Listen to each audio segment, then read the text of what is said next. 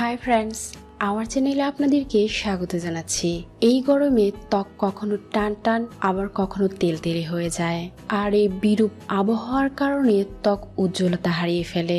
পাশাপাশি রয়েছে ধুলোবালি আর অতিরিক্ত রোদের যন্ত্রণা, যার ফলে আমাদের ত্বক জেল্লা হারিয়ে ফেলে। ত্বকের মধ্যে চুলকানি, র্যাশ বা দানা দানা ভাব দেখা দেওয়ার পাশাপাশি রোদের কারণে ত্বক পড়ে যায়। তার জন্যই আমি আপনাদের সাথে এমন একটি খুব সহজ রেমেডি শেয়ার করছি, যার সাহায্যে এই বিরূপ আবহাওয়াতেও আপনি আপনার ত্বকের মধ্যে উজ্জ্বলতা ধরে রাখতে পারবেন। আর এই রেমেডিটাকে আপনি সংরক্ষণ করে ব্যবহার করতে পারবেন। তাহলে চলুন দেখে নেওয়া যাক।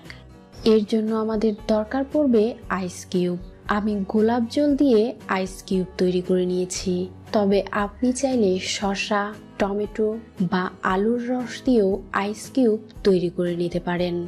এবার যখনই আপনি বাহির থেকে বাসায় ফিরবেন, আপনার ফ্রিজ থেকে একটি আইস কিউব বের করে নিন। তারপর এর সাহায্যে আপনি আপনার ত্বকের মধ্যে ধীরে ধীরে মাসাজ করতে থাকুন। আপনি যদি আইস কিউব সরাসরি ব্যবহার না করতে পারেন, সেক্ষেত্রে একটি পাতলা সুতি কাপড়ে মুড়িয়ে নিয়েও এই আইস কিউবকে ব্যবহার করতে পারেন।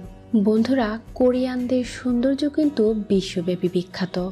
আর এই কোরিয়ানরা তাদের রূপচর্চায় বরফ ব্যবহার করে থাকেন। কারণ বরফ ত্বক টোনিং করতে বেশ কার্যকর।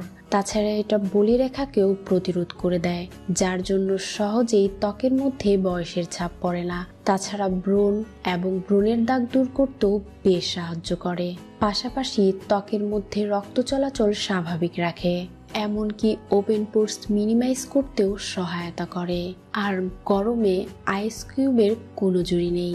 গরমকালে হওয়া র্যাশ, ছোট ছোট দানা দানা ভাব ও অতিরিক্ত ত্বক ঘেমে যাওয়ার সমস্যা দূর করতে এই আইস কিউব বেশ কার্যকর।